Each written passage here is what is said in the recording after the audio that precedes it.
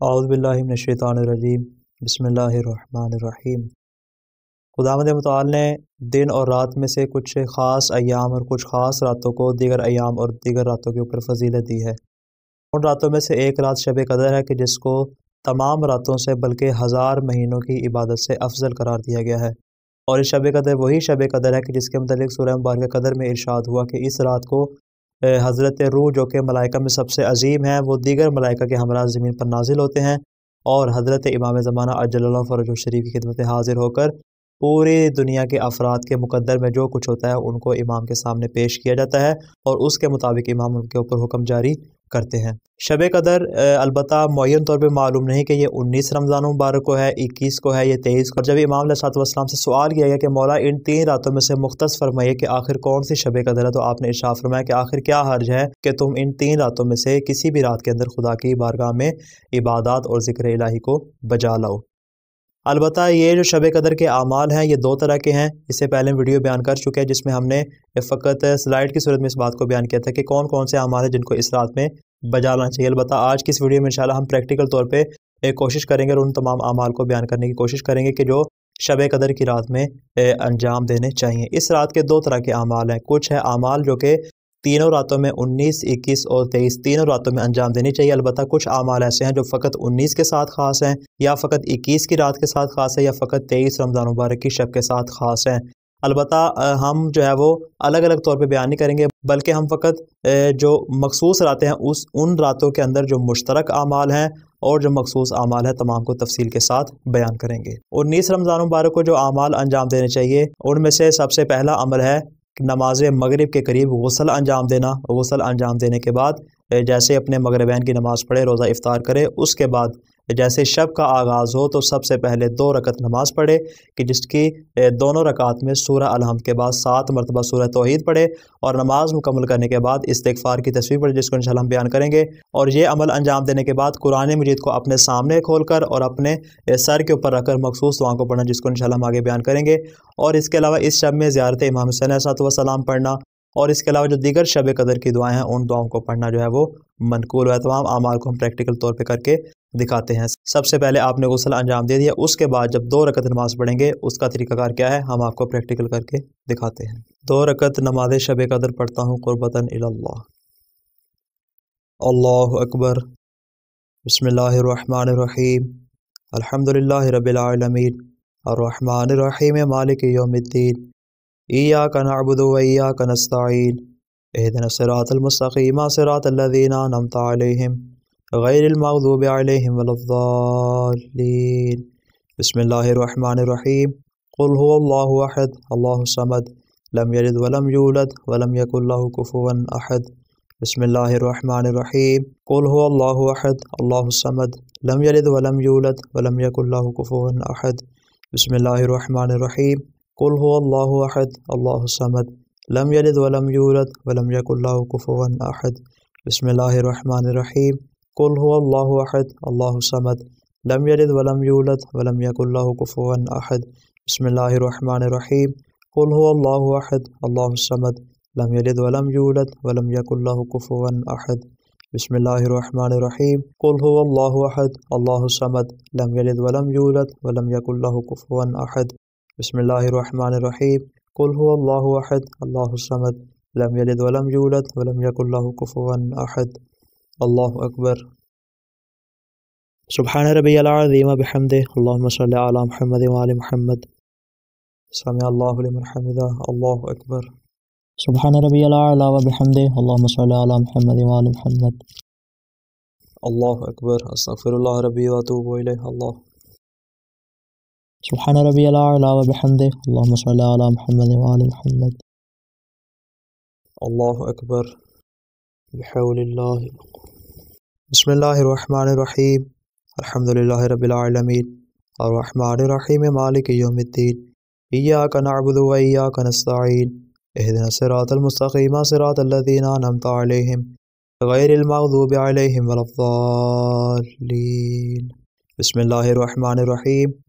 قل هو اللہ احد اللہ الصمد، لم یلد ولم یولد ولم یک اللہ کفوا احد بسم اللہ الرحمن الرحیم قل هو اللہ احد اللہ الصمد، لم یلد ولم یولد ولم یک اللہ کفوا احد بسم اللہ الرحمن الرحیم قل هو اللہ احد اللہ الصمد، لم یلد ولم یولد ولم یک اللہ کفوا احد بسم اللہ الرحمن الرحیم قل هو اللہ احد اللہ الصمد، لم یلد ولم یولد ولم یک اللہ کفوا احد بسم اللہ الرحمن الرحیم۔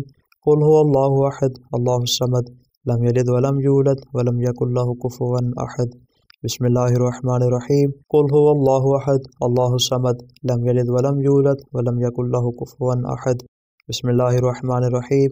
قل هو اللہ احد، اللہ السمد لم یلد ولم یولد ولم یک اللہ کفوا احد۔ اللہ اکبر۔ اللہم صلی علی محمد و علی محمد۔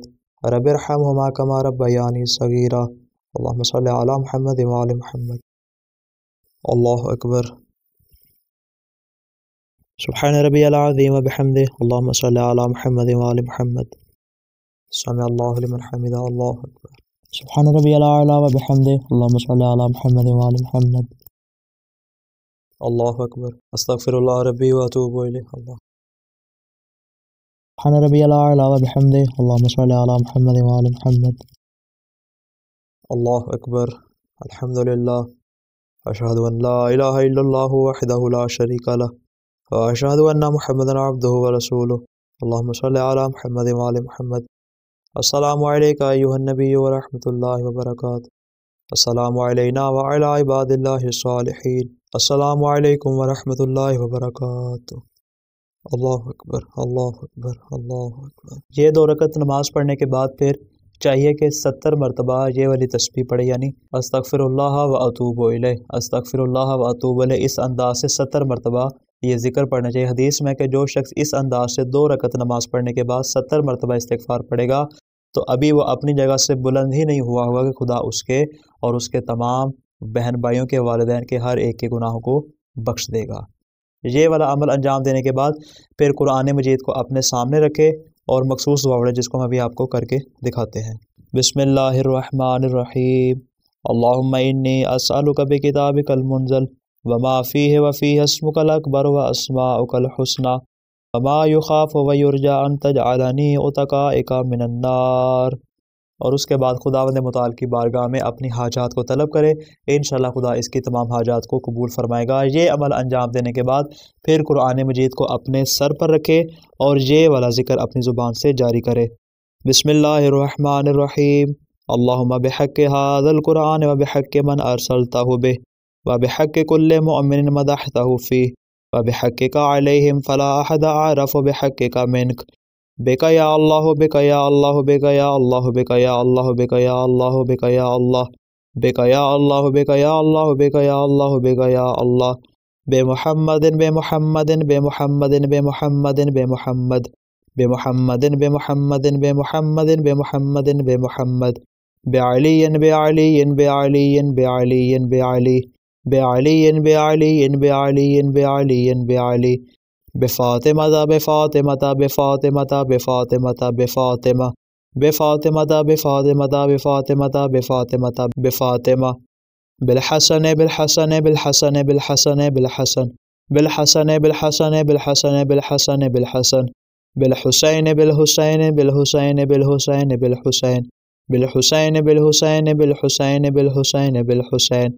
بعلي بن الحسين بعلي بن الحسين بعلي بن الحسين بعلي بن الحسين بعلي بن الحسين بعلي بن الحسين بعلي بن الحسين بعلي بن الحسين بعلي بن الحسين بعلي بن الحسين بمحمد بن علي بمحمد بن علي بمحمد بن علي بمحمد بن علي بمحمد بن علي بمحمد بن علي بمحمد بن علي بمحمد بن علي بمحمد بن علي بمحمد بن علي بجعفر ابن محمد بجعفر ابن محمد بجعفر ابن محمد بجعفر ابن محمد بجعفر ابن محمد بجعفر ابن محمد بجعفر ابن محمد بجعفر ابن محمد بجعفر ابن محمد بجعفر ابن محمد بموسى بن جعفر بموسى بن جعفر بموسى بن جعفر بموسى بن جعفر بموسى بن جعفر بموسى بن جعفر بموسى بن جعفر بموسى بن جعفر بموسى بن جعفر بموسى بن جعفر بعلي بن موسى بعلي بن موسى بعلي بن موسى بعلي بن موسى بعلي بن موسى بعلي بن موسى بعلي بن موسى بعلي بن موسى بعلي بن موسى بعلي بن موسى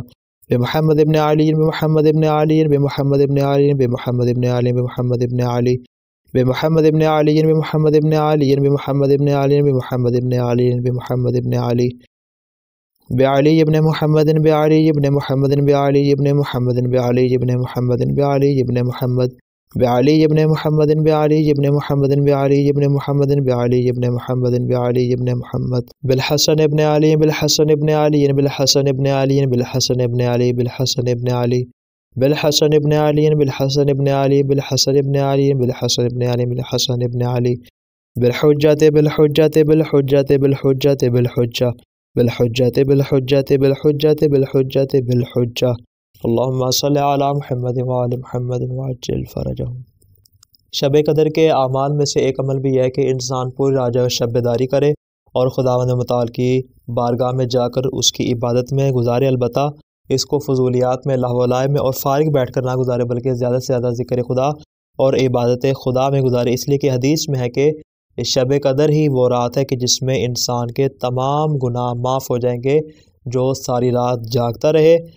اور پھر کہا کہ اس کے وہ تمام گناہ اگرچہ آسمان کے ستاروں، پہاڑوں کی جسامت اور دریاؤں کے پانی کے قطرے کے برابر ہی کیوں نہ ہو، شب داری کرنے کا ثواب یہ ہے کہ خدا اس کے ہر قسم کے گناہوں کو معاف فرما دے گا۔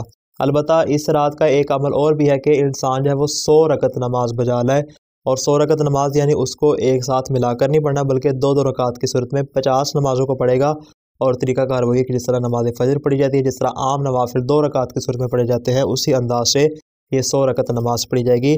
البتہ اس میں ایک دوسرا آپشن بھی موجود ہے کہ اگر انسان سو رکعت نماز نہ پڑھنا چاہے تو اس کی بجائے وہ اپنی چھ روزہ قضا نمازوں کو پڑھ سکتا ہے۔ البتہ اس کا طریقہ کار یہ ہو کہ وہ اپنی ظہر کی نماز سے ابتدا کرے گا۔ پہلے ظہر کی نماز پڑھے گا قضا، پھر عصر کی نماز، پھر مغرب کی، پھر عشاء کی، پھر نماز فجر کی۔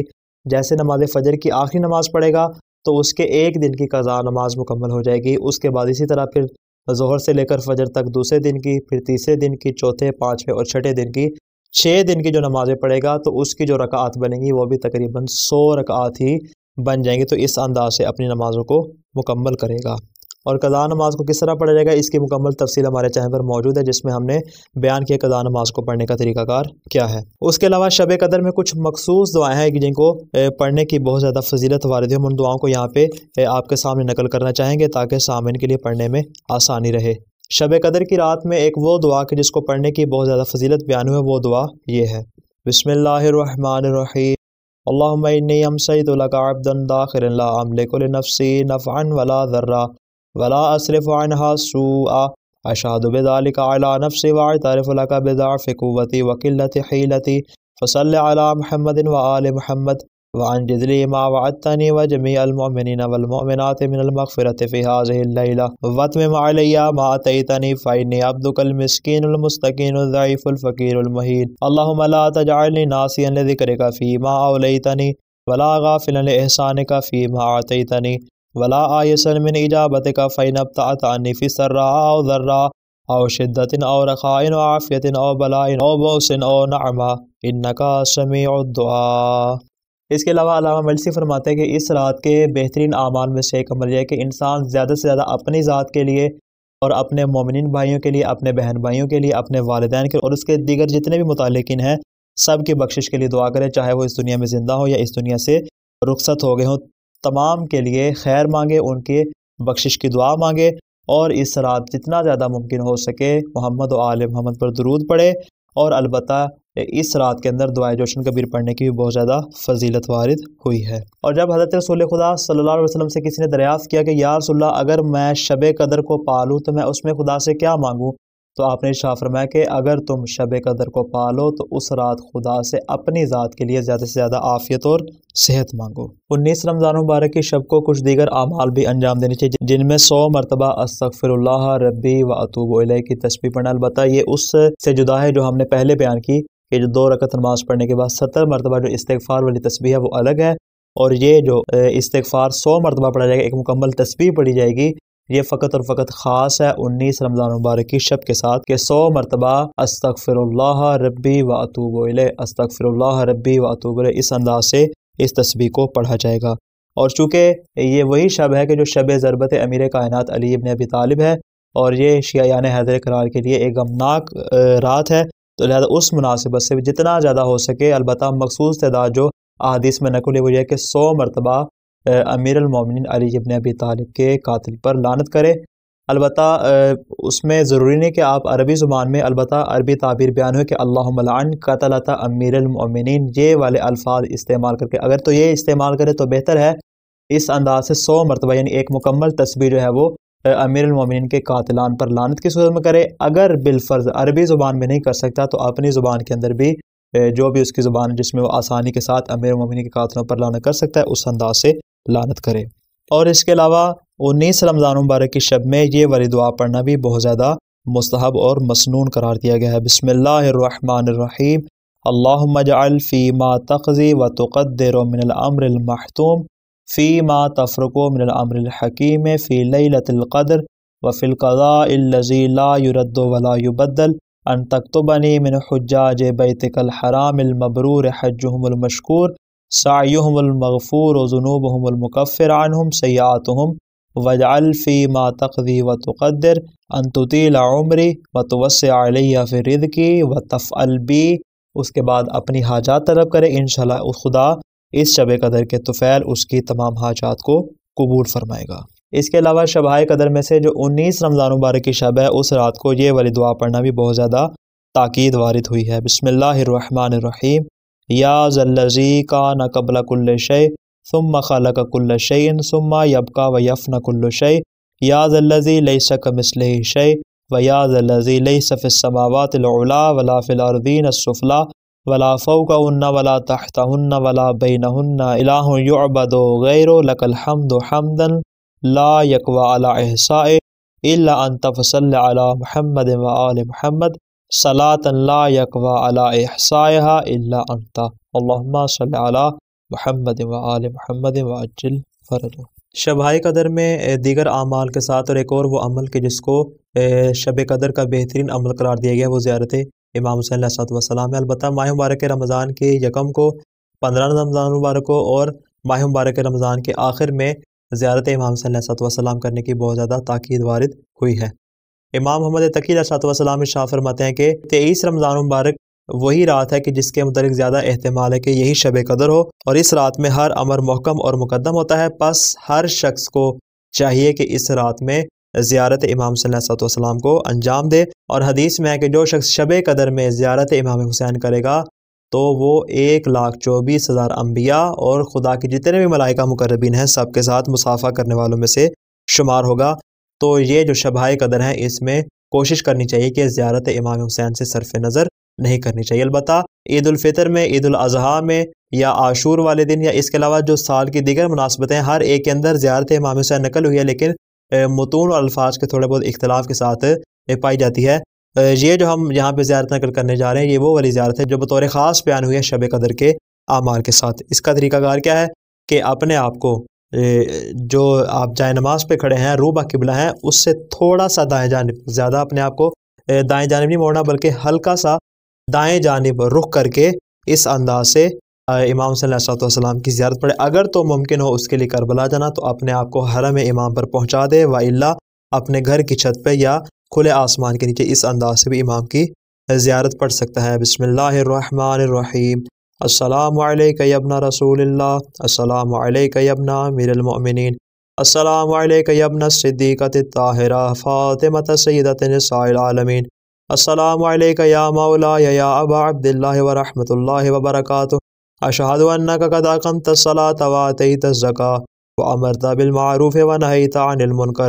وطلوت الكتاب حق تلاوته وجاہدت فی اللہ حق جہادہ وصبرت على العذاب في جنبه محتسبا حتى أتاك اليقين أشهد أن الذين خالفوك وحاربوك والذين خذلوك والذين قتلوك ملعونون على لسان النبي الأمي وقد خاب من افترى لعن الله ظالمين لكم من الأولين والآخرين وضاعف علیہم العذاب العلیم اتیتکا یا مولا ابن رسول اللہ ظاہرا عارفا بحقک موالیا لأولیائکا معادیا لآدائک مستبصرا بالہد الذي انت علیہ عارفا بذلالت من خالفک فشفع لی اندار ربک۔ اس کے بعد اگر حرم امام موجود ہے تو اپنے آپ کو امام کی قبر سے لپٹا لے اور ان کے سرحانے کی جانب رخ کر کے جائے، وہ اس انداز سے زیادہ پڑھے۔ وائلہ اگر تو اپنے گھر میں موجود ہے تو اسی انداز سے امام کی جانب رخ کر کے اور دل میں ان کی قبر مبارک تصور کر کے اس انداز سے زیارت پڑھے۔